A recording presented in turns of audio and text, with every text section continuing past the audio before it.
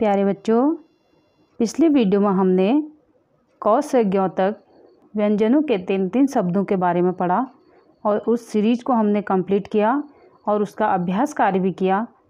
तो आज की इस वीडियो में हम दो अक्षरों वाले शब्द, यानी कि बिना मात्रा से बनने वाले शब्दों के बारे में इस वीडियो में पढ़ेंगे। लेते हैं। सबसे पहले जैसे यहाँ पे दिखाई दे रहा है, कप का चित्र आपको दिखाई दे रहा है, क, धन, प। इसको मिला के बन जाता है कप। यहाँ पे कप का चित्र दिखाई दे रहा है, कप बन गया। यानी कि जो चाय पीने के काम आता है, दूध पीने के काम आता है, अगला है ख, धन तो। इसको मिला के बन गया खत, यानी कि चिट्ठी, जिसे कहते हैं खत। अगला है ग, धन, जो, बराबर गज। तो ग और जौ को मिला के बन गया गज। गज यानी कि हाथी। एक जानवर है, दिखाई दे रहा आपको, यहाँ पे हाथी जानवर, उसे गज भी कहते हैं। अगला है, घ, धन, रो। घ और रो को मिला के बना है घर। यहाँ पे दिखाई दे रहा है, घर है। बहुत सुंदर सा घर यहाँ पे दिखाई दे रहा है, जो क्या करता है हमें, सर्दी गर्मी से बचाता है और हम लोग सभी घर में रहते हैं। वो घर। अगला है, ह, धन, लो। ह और लो को मिला के बना हल। यहाँ पे दिखाई दे रहा है, हल का चित्र दिखाई दे रहा है, जो हमारे खेत जोतने के काम आता है। अगला है, छ, धन तो बराबर छत। छ और तो को मिला के बना छत, जो घर के ऊपर जैसे आपको दिखाई दे रहा है, छत।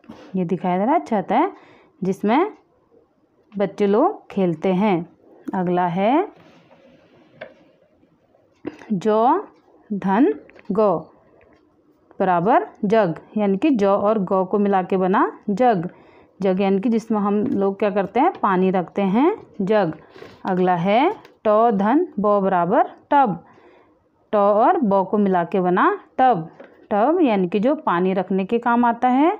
और बच्चे लोग इसमें खूब मज़े से नहाते भी हैं उससे कहते हैं टब। अगला है ठग, ठ धन, गौ बराबर ठग। ठ और गौ को मिला के बना ठग। जो दूसरों को क्या करता है? ठगता है, लूटता है, उसे बोलते हैं ठग।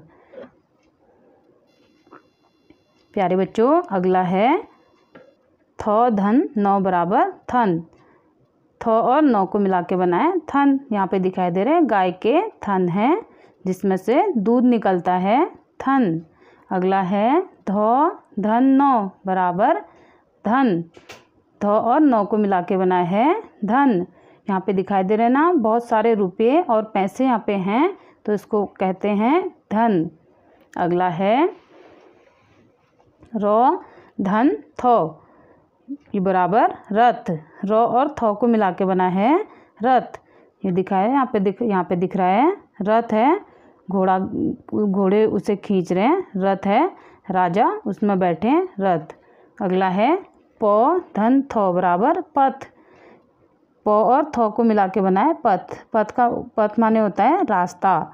यहाँ पे दिखाई दे रहा है, रास्ता है, पथ माने रास्ता। अगला है,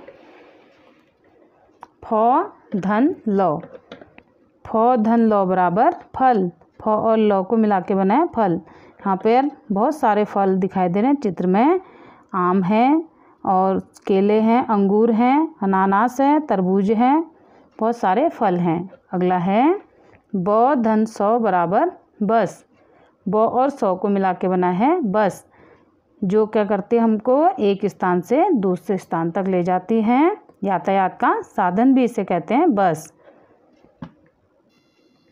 प्यारे बच्चों, आज की इस वीडियो में हमने दो अक्षरों वाले शब्द यानी कि बिना मात्रा वाले शब्दों के बारे में पढ़ा तो आप लोग इसे खूब ध्यान से और मन लगाकर पढ़ेंगे तो आप लोगों के समझ में आएगा और इसे बड़ी मेहनत से आप लोग पढ़ेंगे। घर में भी मिलते हैं अगली वीडियो के साथ।